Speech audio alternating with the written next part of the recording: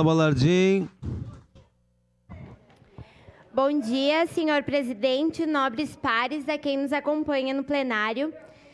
Então, muito refleti sobre a votação, sobre o processo de hoje.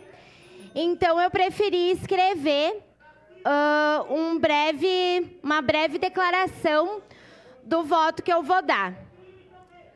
Antes de mais nada, é preciso colocar em perspectiva o mérito, a conduta e a repercussão do caso em questão.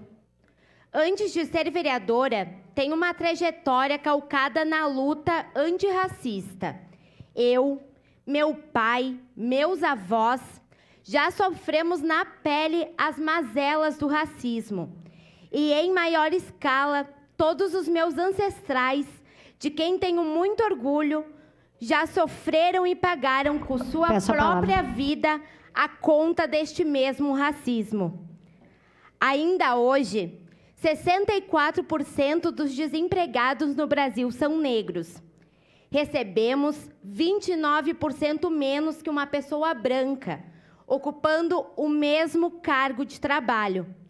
Corremos o risco de ser condicionado ao trabalho análogo à escravidão. Por esse e tantos outros motivos, não podemos mais aceitar nenhuma forma de preconceito. Fui eleita com o voto daqueles e daquelas que optaram por, por lutar contra o preconceito enraizado. E é por conta disto, de minha história, de minha ancestralidade, de minha formação política, de meus princípios e convicções, que no dia de hoje só tenho um voto para dar, que é o voto pela cassação. Próximo. Próximo vereador escrita.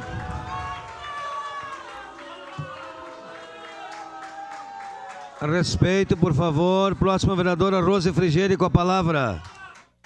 Silêncio, por favor. Bom dia.